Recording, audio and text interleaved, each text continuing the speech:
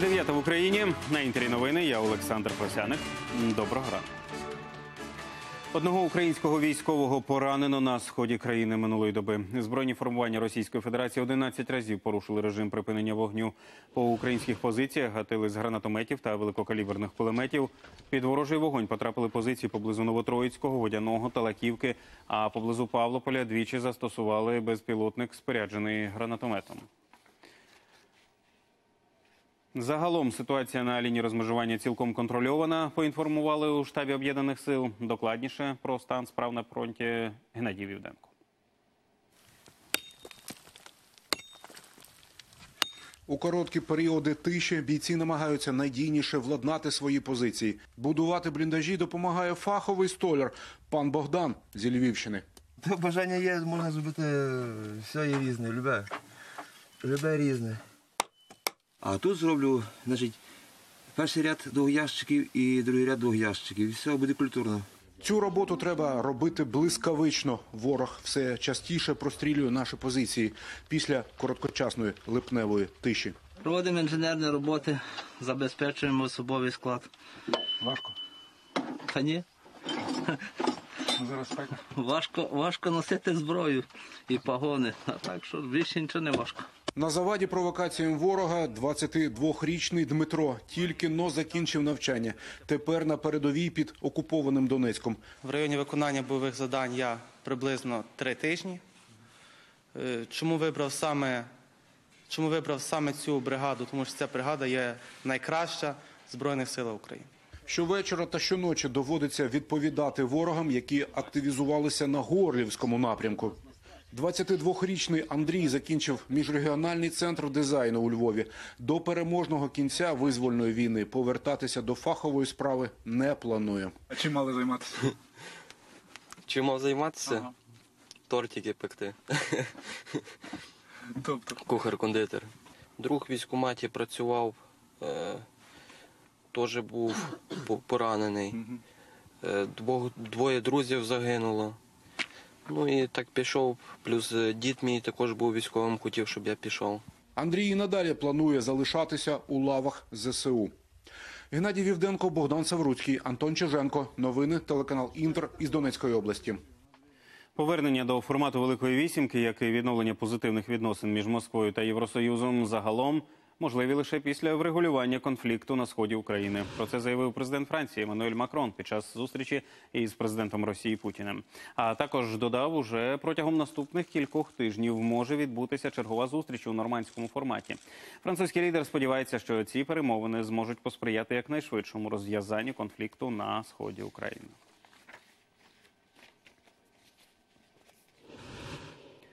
На Запоріжжі затримали бойовика з окупованої Донеччини. П'ять років тому терористи Гіркіна звільнили чоловіка з в'язниці за умови перейти на їхній бік.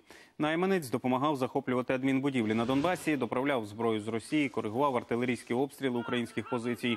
А ще воював на передовій. 2017-го вчинив розбій на непідконтрольній Україні території, за що його оголосила в розшук так звана міліція бойовиків. Сховатися зловмисник вирішив на Запоріжжі у родичів, переселенців з Донбасу. Там його і спіймали працівники СБУ. Нині вирішують питання щодо обрання запобіжного заходу. Український політв'язень Кремля Микола Карпюк вибув із російської в'язниці Владимирський Централ. Про це повідомляє Радіо Свобода з посиланням на адвоката бранця. За словами захисника, Карпюк міг вибути з тієї ж причини, що й політв'язень Володимир Балух, якого 16 серпня вивезли з колонії міста Торжок Тверської області Росії. Адвокат припустив, що найближчим часом із Росії в Україну можуть повернутися деякі українські політв'язні. Нагадаю, раніше адвокат Балуха. Ольга Дінзе повідомляла, що його вивезли до Москви. Причини, за якими його етапували, їй були невідомі. Поліцейський та його семирічна донька загинули в ДТП на трасі Київ-Суми. І ще один дев'ятирічний хлопчик отримав численні тяжкі травми. Він у комі. Аварія сталася напередодні. Водійка позашляховика перевищила швидкість і не пропустила автівку, що їхала головною дорогою. Від удару та вилетіла в кювет. Жінка у позашляховику лишилася неушкоджена. Наразі вирішують питання про затримання винуватиці ДТП та порушення кримінальної справи. Шестеро людей постраждали напередодні в середмісті столиці. Позашляховик влетів у натовп пішоходів. За попередньою інформацією, двоє постраждалих у тяжкому стані. На перехресті Range Rover зіткнувся із автівкою Тесла. Від удару позашляховик відкин- відкинуло на пішохідну зону, де в цей час були люди. Травми дістав і водій електрокара. За словами очевидців, винуватець пригоди саме водій Range Rover. Він е, проїхав на червоний, до того ж був на підпитку. Усі деталі з'ясовує слідство. Сотні дерев у лісопарках столиці повиривало з корінням через удари стихії, яка вирувала останні кілька тижнів. Наразі лісівники намагаються прибрати їх із лісових стежок та доріг. Що робитимуть із ними далі та як відновлюватимуть лісопарки? Дізнавався Руслан Сміщук. Десятки, а то й сотні зламаних і видертих з корінням дерев, переважно сосни та берези. Такий вигляд наразі мають київські лісопарки, особливо поблизу мікрорайону Лісовий. Там сухостой, он целая поляна завалила. Много деревьев. И зеленый выворачивала с корнями. Через кожні кількадесят метрів лежаче дерево. Причиною такого масового київського деревопаду буревії спричинені глобальними змінами клімату. навіть старі вікові дерева, які попадали. Состав же ж, е, е, скажімо так, якщо вона дуже стара, вже в неї крона ду- дуже обширна. Тобто вона як парус. Якщо вітер сильний, поривистий, вона вириває. Корнева система вона зверху практично вся. І крутнуло і вирвало все одразу. Нині лісничі потроху прибирають наслідки діянь природи. Проте за українським законодавством розпиляти навіть такі завалені дерева не так просто. Потрібні дозволи. Якщо це е, дороги загального значення, проїзні дороги, просто дерево розрізати і е, відсунути в сторону, але для того, щоб прибрати, необхідно отримати спеціальні дозвола від двох неділь до місяця, щоб отримати повністю дозвіл. На місці втрачених дерев лісники висаджують нові, а це мільйони саджанців. За початку цього року ми фактично на 303 е, гектарах е, лісів здійснили доповнення культур, і на 18 гектарах ми здійснили висадку нових культур. Як оці сосенки річнички. Це посадка 2018 року. Ось вони маленькі. Весною садили минулого року. Оце воно за рік стільки виросло. Руслан Смещук, Марта Хаєцька, Володимир Савченко та Олексій Шматов. Новини телеканал Інтер. Дві плантації конопель виявили на Кіровоградщині. Біля Голованівська нарковмісні рослини посіяли між полями соняшника. Загалом правоохоронці вилучили 26 тисяч кущів. Орієнтовна вартість їх на чорному ринку понад мільйон гривень. Поліція відкрила кримінальне провадження, встановлює власника земельних ділянок. Йому світить до семи років за ґратами. Стан туристів, що постраждали внаслідок інциденту в Буковелі, стабілізується. Нагадаю, два дні тому під час стрибка з банджі обірвався трос. Хлопець і дівчина впали на бетон. Зараз на курорті перевіряють технічний стан атракціонів. Більше подробиць у Жани Дучак. Ми їх стрибнули і навіть не пам'ятаю. Останнє, що пригадує Віталій, стрімке падіння вниз. Отямився хлопець уже у лікарні. Розповідає, того дня приїхали у Буковелі разом із дівчиною святкувати її день народження. Вирішили разом стрибнути з вежі. Ми стояли перед тим, хвилин 20, стрибали всі. Нас здівало нормально, там два повністю повдівало, позав'язувало, там все було нормально, поки не стрибнуло. Замість мальовничого прольоту над водою жорстке падіння на бетон. Хлопця у тяжкому стані доправили у реанімацію. Падіння з джампінгу, з відкритою черепно-мозковою травмою, забій головного мозку, перелом кісток, склепіння черепа, пневмоцефалію. Дівчині пощастило більше. У неї була травмована голова, верхня права кінцівка, поперековий відділ хребта, е, кістки тазу. Ось саме та вежа, звідки стрибала пара. 28 метрів заввишки. Причину трагедії вже встановили. Обірвався один з тросів. Вони, коли обірвалася вірьовка, вони долетіли майже до води, і на основній вірьовці їх підкинуло назад, десь ну, від 5 до 7 метрів вони. І вони приземлились на бетон. В адміністрації курорту від нещасного випадку відхрестилися. Кажуть, атракціон належить підприємцеві з Києва, який лише орендує місце. Директор курорту наказав все знову перевірити, всі атракціони, все, що зв'язано з небезпекою для життя дітей, все знову ретельно перевіряти. Хоча планові перевірки вже були. Чому, попри усі наявні сертифікати перевірок, трос все ж не витримав, становить експертиза. Фахівці припускають, він міг бути бракованим. Власники атракціону запевняють, усе обладнання сертифіковане і кажуть, що їхньої вини немає. Щодня проводиться огляд технічний зі сторони завідуючого атракціону. Раз на три місяці робиться якась заміна спорядження. Тому з технічної точки зору е, самого атракціону на момент е, проведення цього, е, м- ну, дійства е, я помилки не бачу.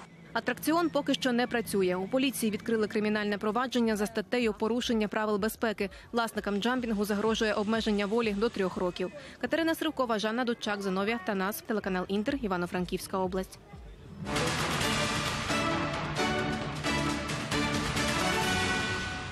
Уперше після розірвання ракетного договору Пентагон провів випробування крилатої ракети середньої дальності. Запуск відбувся 18 серпня на острові Сан Ніколас у Каліфорнії. Ракета влучила у ціль на відстані понад 500 кілометрів. Раніше такі випробування підпадали під заборону договору про ліквідацію ракет середньої і малої дальності, який США спільно з радянським союзом підписали 87-го року. Утім, 2 серпня він припинив діяти. Спочатку угоду в односторонньому порядку покинув Вашингтон. У Білому домі повідомили, Росія договір порушує, адже виробляє балістичні ракети Іскандер. Слідом за США вийшла згоди і Москва. Нова лісова пожежа на півдні Іспанії. Палають ліси в районі Андалусія, поблизу містечка Етепона. Зайнялося напередодні в день. Утім, через сильний вітер і спеку одразу взяти вогонь під контроль не вдалося. Полум'я впритул наблизилося до житлових будинків. Півсотні людей евакуювали. До гасіння залучили майже 200 рятувальників і десятки гелікоптерів. У сутички з поліцією переросли масові протести в турецькому місті Діярбакир. Бійки почалися після того, як мітингувальників е, почали розганяти водометами. На демонстрацію люди вийшли з вимогою поновити на посаді тамтешнього мера. Очільника Діярбакира і ще двох міст у регіоні звільнило турецьке МВС. Їх підозрюють у зв'язках із курдськими організаціями, які Анкара вважає терористичними. Проти вже засудженої дочки екс-президента Узбекистану Іслама Карімова гульнари порушили іще кілька нових кримінальних справ.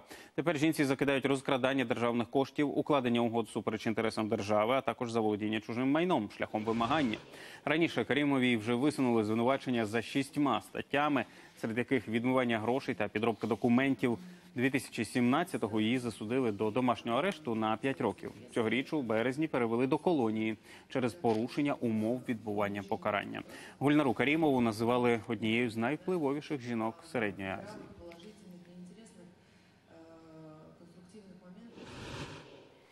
Велика Британія втратила статус країни, що поборола кір. Лише за перший квартал цього року там занедужила 231 людина. Хоча три роки тому британці оголосили, що вірусу у Сполученому Королівстві більше немає. Прем'єр-міністр Борис Джонсон закликав усіх земляків негайно вакцинуватися. До шести років за ґратами загрожує туристам за крадіжку піску з італійської Сардинії. Французьке подружжя намагалося автомобілем вивезти 40 кілограмів природного скарбу, розфасувавши його у пляшки. Оскільки чимало туристів беруть із собою з острова такі сувеніри, тамтешня влада запровадила на це кримінальну відповідальність. Французи ж кажуть, про закон не знали. Утім, від покарання це їх, звісно, не звільнить.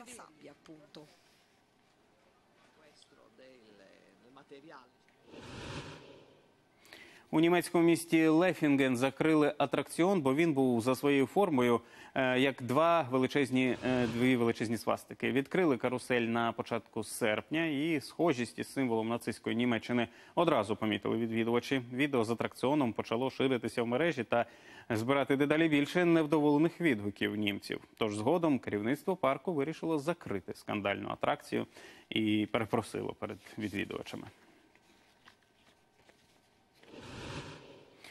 Колгосп по-європейськи у Нідерландах дві сотні родин заснували спільну ферму, платять за землю, наймають працівників і отримують свіжі продукти. Чому для нідерландців це революція в сільському господарстві? Знає Анна Філь. На перший погляд, це звичайнісінька ферма. Утім, у неї понад дві сотні власників. Це жителі містечка Бокстел, які погодилися на незвичний експеримент. Це перша в країні кооперативна ферма. Люди орендують 20 гектарів землі, інвестують у господарство, наймають фермерів. Натомість отримують яйця, м'ясо, молочні продукти, збирають яблука, груші та сливи в садку. Ще є 4 гектари грядок. Ми вирощуємо з півсотні різних видів овочів. Що тут ростиме і хто житиме, інвестори вирішують колективно. Щосуботи приїздять по свіжі та екологічно чисті продукти. Заради такої розкоші треба зробити разовий внесок у 2 тисячі євро, а потім сплачувати щотижня ще по 10. Для співвласників важливо отримувати свіжі продукти неподалік від дому. Тож ми помітили, що люди прагнуть змінити сам спосіб, яким виробляється їжа в Нідерландах. У жителів Нідерландів є привід для занепокоєння. Країна одна з перших може опинитися під водою через глобальне потепління. А за даними ООН, одна з головних причин підвищення рівня океану це бездумне використання земель і ресурсів. Тому на бокстельській фермі з природою намагаються жити в мирі. Ми називаємо наш спосіб виробництва підпорядкованим довкіллю. До прикладу, у звичайному садку поміж деревами ідеально підстрижений газон. Зазвичай усі рослини та трави, які ростуть самовільно, знищують інколи й за допомогою хімікатів. Ми уникаємо цього. Господарювання, яке не шкодить природі, урядова політика в Нідерландах. Там оголосили про перехід від сільського господарства з найменшими витратами до якомога екологічнішого, зокрема й за рахунок новітніх технологій. Ми співпрацюємо з науковцями із технічного університету Ейнховена, щоб невдовзі залучити також роботів і дрони, бо нестача працівників на фермі сьогодні одна з найнагальніших проблем. Тож скоро на фермі з'явиться безпілотник, який відстежуватиме угіддя з повітря. А неподалік готують до відкриття ще одне колективне господарство. Анна Філь, новини телеканал Інтер. Гардероб Кейт Мідлтон відтворила у себе вдома жителька міста Ашберн в американському штаті Вірджинія. 31-річна Мелорі, давня шанувальниця королівської родини. Найбільше захоплюється вишуканим стилем герцогині Кембриджської. Робить схожу зачіску та макіяж. Коли Кейт з'являється в новому вбранні, Мелорі одразу шукає таке саме в інтернет-магазинах. У витратах себе не обмеж... обмежує, не купує речей дорожчих за 250 доларів. У колекції американки вже понад дві сотні королівських суконь і костюмів. Коли Кейт заручилася з принцем Вільямом, я була у захваті, адже стати принцесою мрія кожної дівчини. Відтоді я почала стежити за вбранням. Кейт підбирала, який одяг пасував би мені. Зараз колекціонувати такі речі це моє хобі. Вони не з дешевих копію зробити складно, але такий стиль мені надзвичайно подобається. У голландському місті Утрехт відкрився найбільший у світі велопаркінг. Стоянка розташована на центральному вокзалі та розрахована на 12,5 тисяч двоколісних. Працює велопаркінг цілодобово. Перший день безкоштовний. Далі треба платити 1 євро 25 центів на день. Раніше рекорд за кількістю велосипедних паркомісць мав Токіо. Тамтешня стоянка може розмістити до 10 тисяч роверів. Як розвиватимуться події вже у півдні, розкаже Олександр Васильченко. А в мене поки що все. Гарного вам дня і до зустрічі завтра зранку.